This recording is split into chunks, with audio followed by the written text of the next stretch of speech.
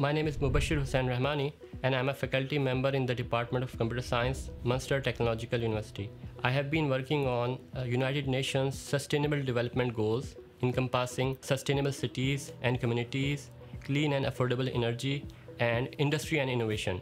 W- one of my research area is uh, cybersecurity, and within cybersecurity, I have been focusing on protecting the critical infrastructure such as electrical grid or the smart grid. I am proud to share with you that my research is internationally recognized and I am the recipient of Highly Cited Researcher 2020 award.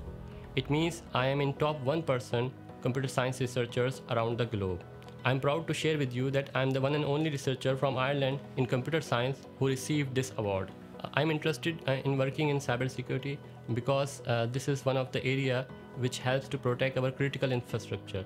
And protecting the critical infrastructure and their communication network is very important because uh, otherwise we cannot uh, we cannot resume our communication uh, over these networks.